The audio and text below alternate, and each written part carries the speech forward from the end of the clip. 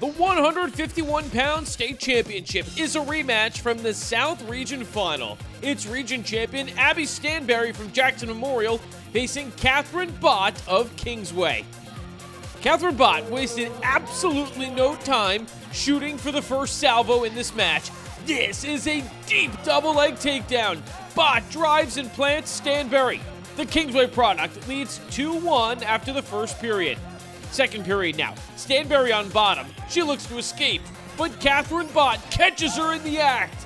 Bott goes under the left arm, and here comes the half Nelson. It takes only a matter of moments before this is finished.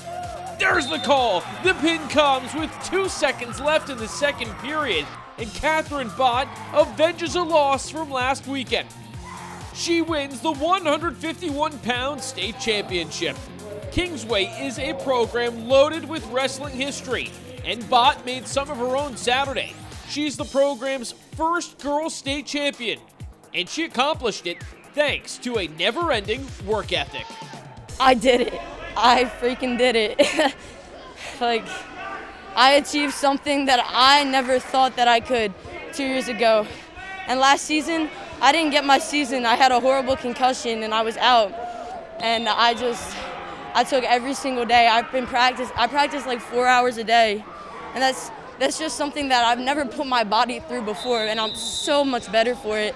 And I, I just I can't wait to see how far I'm gonna go. Congratulations to Katherine Bott, your 151 pound state champion. Reporting from Phillipsburg High School, I'm Jay Cook with JerseySportsZone.com.